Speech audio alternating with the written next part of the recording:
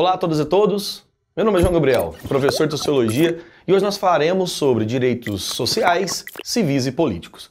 Antes de começar minha aula, se inscreva no nosso canal, deixa aqui o sino ativado para receber as notificações de novas videoaulas. E não se esqueça também, se durante a aula tiver alguma dúvida, manda um recado aqui pra gente. Vamos lá? E aí, pessoal, o tema de hoje é um tema que não é só sociológico, é um tema que eu gostaria de destacar para você que está se preparando aí para vestibulares, ou sei lá, concurso, ou trabalhos escolares, que também é um tema que dialoga com outras áreas, por exemplo, a redação.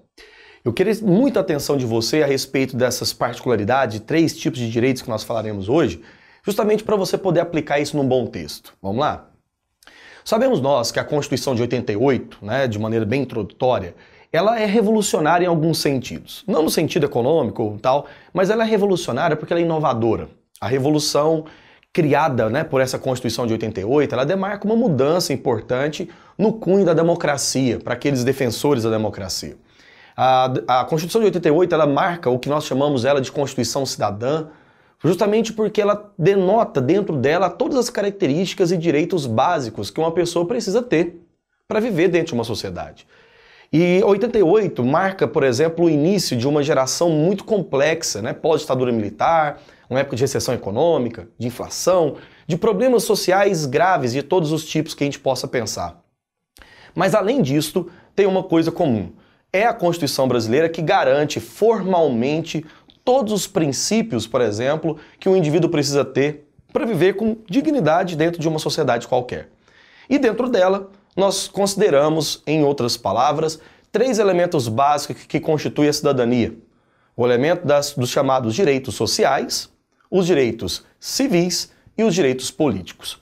Eu preciso muito da sua atenção nessa aula, nesse, nesse momento agora, para a gente poder separar como que essas três esferas de poderes elas estão ao mesmo tempo destinadas a ser coisas específicas, direitos específicos, mas no final das contas, se a gente possa traçar uma linha geral entre elas, a gente encontra, por exemplo, uma característica comum. Vamos lá? Vamos pensar no primeiro? Quando falamos de direitos sociais, vamos começar por esse: direitos sociais.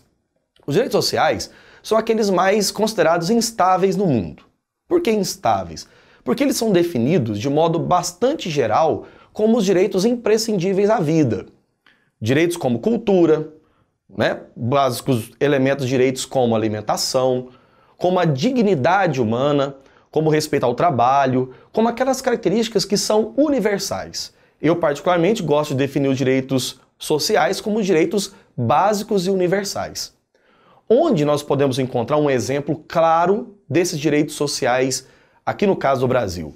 O artigo 6 da Constituição Federal.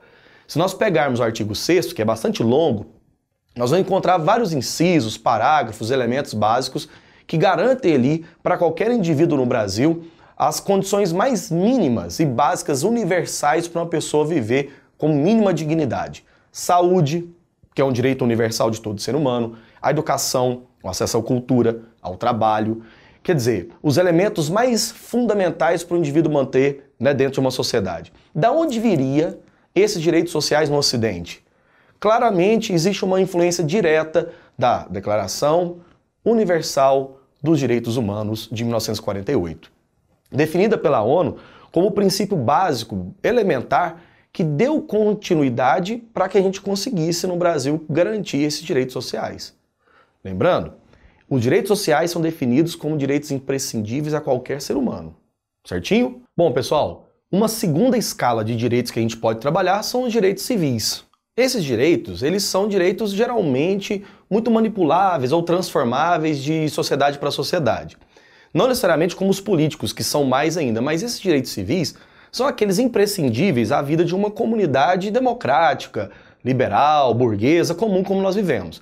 Seriam os direitos ao acesso à propriedade, a ideia de liberdade, né, de opinião, de crença, de religiosidade, que estão presentes, no caso da Constituição brasileira, no artigo 5 que define, por exemplo, ali os direitos mais básicos e fundamentais civis, ou seja, civil na ideia de cidadania. O que constitui uma pessoa dentro de uma vida pública, né? Dentro de uma vida em sociedade? Direitos básicos, liberdade de ir e vir, liberdade de pensamento, liberdade de expressão, Liberdade de proteção à propriedade privada, esse é um direito burguês fundamental para essa sociedade e etc. Uma terceira outra escala, que está relacionada também aos direitos civis, são os direitos políticos. Direitos políticos são extremamente variáveis de país para país, de época para época. Por quê? Porque mudanças constitucionais ou políticas podem alterar esses direitos, que seria aqueles direitos básicos que colocam o cidadão na vida ativa de uma cidade. Em outros termos, como é que você se interrelaciona com o poder? Os direitos políticos, então, são os direitos definidos como participação política, votar, ser votado, todas as possibilidades pessoais ou pelo menos coletivas também diante de uma participação política. Sabemos que esses direitos geralmente no Brasil não são tão estáveis. Se a gente pegar o século XX, nós vamos ver uma grande instabilidade dos direitos políticos brasileiros, como em épocas de ditaduras, já que nós passamos só na República três grandes ditaduras. Eu destacaria como principal exemplo o artigo 14 da Constituição Federal, que ali garante os direitos básicos e fundamentais de um cidadão brasileiro no que tange a participação política. Inclusive, uma ideia fundamental que é a obrigatoriedade do voto em algumas instâncias majoritárias, acima dos 18 anos de idade e até a fase onde você vai atingir a sua idade de ser idoso, beleza? Pensando então nesse aspecto, vamos fechar a aula então trabalhando os três elementos ao mesmo tempo. A Constituição Federal Brasileira de 88, ela garante esses três direitos: os direitos sociais, imprescindíveis e universais, que não podem ser revogados, inspirados nos direitos humanos, ok? O segundo tipo de direito, os direitos sociais, civis. Civis porque são aqueles que o indivíduo se interrelaciona com a vida em comunidade. Liberdade, liberdade de expressão, direito de propriedade. E ao mesmo tempo, os direitos políticos, que esses são mais instáveis devido às mudanças constitucionais de época e época para cada país. Por que, que eu citei no início da aula para você pensar isso na redação? Porque todo tema de redação, geralmente, toca em algum direito social, ou direito civil, ou direito político que está em jogo, como a participação política, como o direito de demarcação de terra para indígena, como proteção, por exemplo, às mulheres, alguma questão vai te cobrar a respeito desse assunto. Então, ao fazer a prova, fica bem preparado e pode ter certeza que você pode aplicar esses conceitos que nós usamos aqui na aula, beleza? É isso aí, pessoal. Foi nossa aula sobre direitos sociais, civis e políticos. Se você gostou, deixa um like aqui para mim. Se não se esqueça também de poder aprofundar com os links que nós temos na descrição sobre esse tema.